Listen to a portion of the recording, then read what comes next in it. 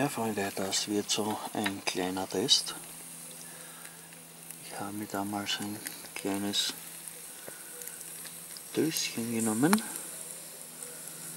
habe das befüllt mit meiner Brennpasta. Das ist so eine kleine Dose, wie Sie vielleicht sicher viele kennen, von so Luftdruckgewehrkugeln. Und da will ich auch jetzt noch testen, wie lange das brennt. Ich habe mir hier extra die Uhr gestellt. Man kann erkennen, hier ist gestartet, das heißt kurz vor Viertel.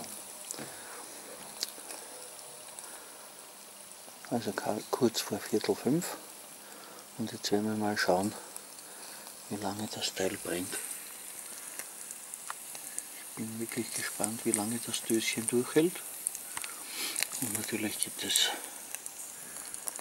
auch ein kleines Käfchen. Ich habe auch die Bedingungen sehr gut, habe meinen Windschutz gebastelt und nein, nicht gebastelt, aufgestellt einfach.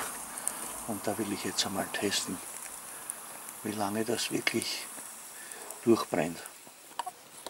Ja, inzwischen ist mein Käfchen fertig. Wir haben bereits circa 12 Minuten, wo das schon brennt.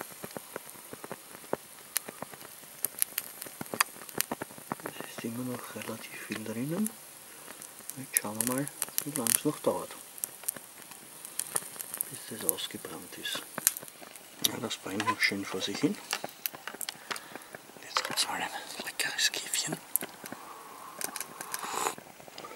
Ja, es brennt nun bereits seit 16 Minuten. Und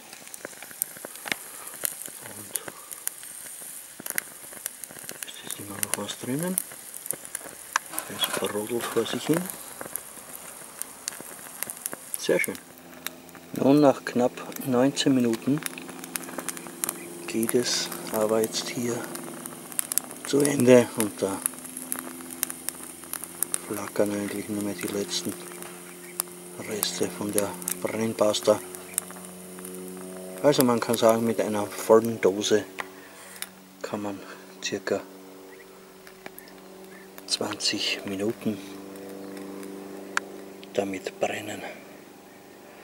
Und jetzt ist sie soeben erloschen.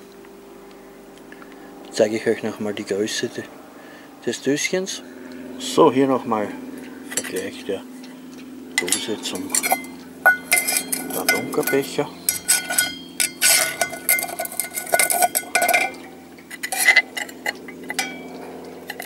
Man sich das vorstellen kann, weil es ist wirklich ein kleines Döschen und brennt mit der Brennpasta an die 20 Minuten, wenn es befüllt ist. Und das finde ich ist nicht schlecht. Für alle, die natürlich gerne mit Minimalausrüstung und vielleicht nur ein Käfchen machen und nicht auch nicht den ganzen M71 mitschleppen wollen, vielleicht, sondern nur so ein kleines Ding und eben den Esbit-Kocher als quasi als Abstellung, dann ist das perfekt. Hier nun das kleine Döschen geschlossen und das passt auch optimal.